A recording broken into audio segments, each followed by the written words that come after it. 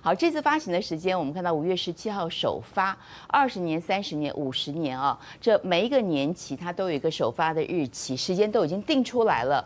然后都是半年付一次息，那这次总共是一兆呃一兆元的人民币嘛？那当然大家都在问说，是不是只有这个呃公司行号可以买，机构可以买？不是哦，个人也可以买。今天我看到哈，在大陆这个各个平台当中，流量最好的就是告诉你如何买。哪些 App 上怎么买？输入什么资料？点选哪里买哪一种？它的利息怎样？网上各式各样的这个比对的一个表格都出来了，在大陆非常的热门。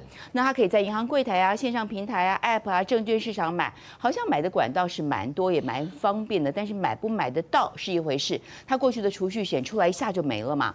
那根据大陆之前的国债利率哦，投入十万人民币，利率大概是二点八到三点五之间。当然它每个年年期的利率又不太一样，什么时候这个买回又不一样，导致大陆国务院总理李强特别对这个超长期特别国债，我们看到这里面有几个关键字哦，超长期，确实啦，五十年这个是首发的特别国债，哈，今天大家都都在讨论特别在哪里？过去大陆昨天三次首三次发行嘛，我们昨天有特别讲，另外一个就是中国国债嘛，超长期特别。好，国债。不过大陆民众、大陆百姓对国家有信心，所以算是目前非常被看好。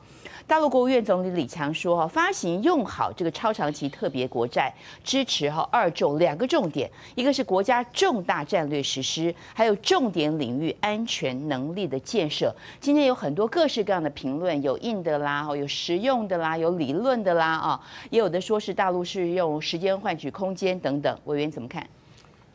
超长国债，我跟各位报告哈，这是难得好的投资工具，因为它比人民币的银行存款利息高很多。那你也第二个你会想说，哇，二十年、三十年那么久啊，呃，你不用担心，你买到了，你不想要了，你弄个几年、五年的话，你就或三年了，你在市场上卖掉很容易卖掉，因为流动性很高，几乎每一个银行、金融机构手上都有一些，也都是在从事买卖的工作。每天早上有个利差，它就跟股票市场有个利差，它就会买进卖出了，流动性非常的好，这几乎是个稳赚不赔的一个投资的对象哈。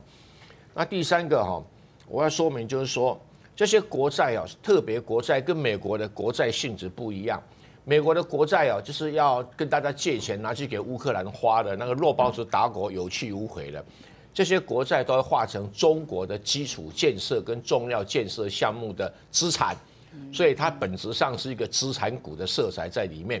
比如举个例子，它一部分的资金呢会拨给地方政府去买下一些诶所谓的呃一些房地产啊房地产，而且它现在有个有个很多地方政府啊有很多很聪明的的招数，它什么招数呢？他说，比如说今天呢这个丽将军呢住在老城区。他说：“哎呀，李将军啊，你那老房子卖给我吧，就地方政府来找你买，然后把整个老城区的房子全部买起来，那麻烦你这个钱哦，拿去买那个谢寒冰盖的新房子，把还没有卖到新房子一个销掉。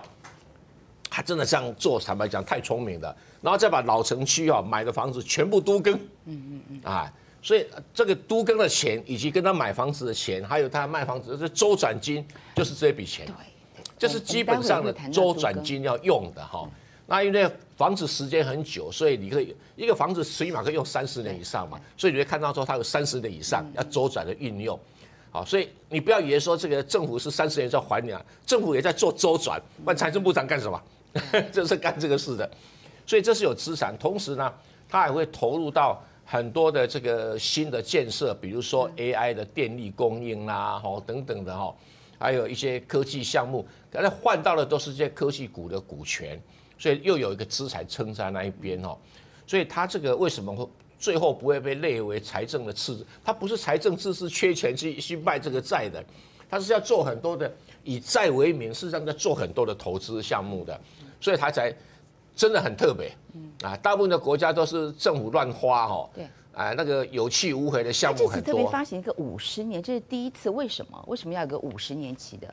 告诉大家，这个中国啊的存在的历史五千年，我才拿个五十年而已啊，所以 所以自己不是很超长，还好。对，这这个很有些五十年利息会很高啊。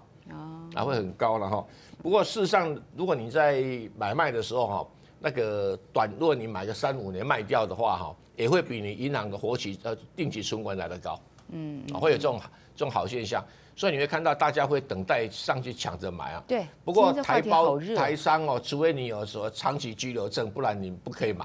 哦，一定要有长期居留证。对对。所以台湾人买不到哈。对，买不到。对。但是有一些台湾的金融机构可能买得到了。嗯嗯。有一些金融机构，他他他不是直接买，他就跟金融机构跟金融机构来往的。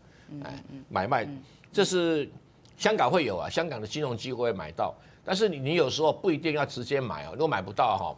银行里面有很多的理财产品会包裹，说：“哎呀，我这个基金里面啊，有二十年、有三十年、五十年的，哈，像 ETF 这种概念呢，会有这种这种产品出来卖。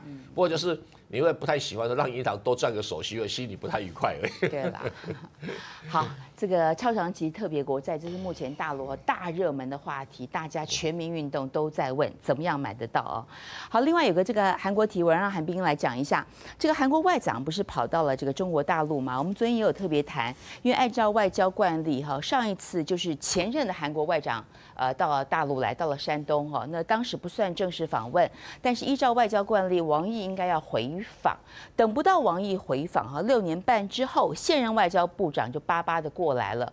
当然这个年底呃，当然这个接下来有这个中日韩峰会啦，这次还是韩国举办，所以是有所求嘛。再加上川普万一上的话，这个保护主义，韩国也没好日子过。所以感觉上哈，这个韩国现在要做一些这个挂保险。那这次你看到他跟王毅一谈谈了将近四个小时，哎哎，四个小时有没有是大长桌？好，两边都有团队过来，四个小时真的可以谈很多很多东西哦。据说有一些比较实质的，韩方在当场会议桌上提了三个要求，中国大陆准了一个啊。为什么？因为前两个都跟朝鲜问题有关。大家知道中国大陆跟这个北韩跟朝鲜的关系啊，所以王毅只准了第三个。第三个就是这个中韩之间的企业问题啊，对于在华的韩国企业提供适当的帮助，这个其实也符合中国大陆一。惯的主张跟利益，然后这个媒体有个评论，我觉得还蛮有意思的啊。这次大家都说啊，对啊，这个韩国有求于中国大陆啦，挂保险啦，双边平衡啦啊。但这个角度是说呢，其实北京在给韩国一个机会，什么机会呢？给你个机会，让你摆脱美国的干扰啊。确实，想要美国的干扰是蛮大的，对不对？以前韩国的三星啊，各方面多强，汽车啊，就现在这个制裁七弄八弄，搞得哩哩啦啦。韩方愿意。呃，然后他也说，韩方愿意同中方加强政治接触，寻求重启中日韩三角关系。重启哦，什么意思？现在没有了，对不对？过去三角关系什么关系？现在要重启，重启的意味就是说，当时三角关系看起来不错啊，对不对？我现在要启动，但是启动怎么个启动法啊？还有这个王毅的态度又是什么？我先进一段广告，稍后回到韩冰。太阳星全效克菲尔益生菌，我吃了两三天，最明显的感觉是睡眠品质竟然变好了。睡得好，让我整个人工作更专注，心情也变得更稳定更好。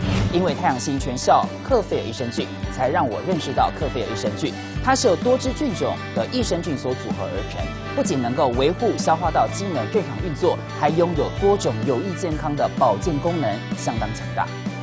你知道吗？有台大教授专门研究它，称它是神仙的礼物。上千篇的国际研究证实，克菲尔益生菌不仅帮助肠道健康，肠道菌透过肠脑轴影响全身器官，所以维持肠道菌丛的平衡是解锁身体健康、精神健康的钥匙。对帮助睡眠、维持好情绪真的很有感。也因为这不是药，有季节敏感、代谢困扰。关心恶性细胞风险的好朋友，选择太阳型全效克菲尔益生菌，做好日常的保养，身体健康没负担。每日克菲尔时刻美好，Good Feel Feel Good，请上快点购健康下单，输入推荐代码有额外的折扣。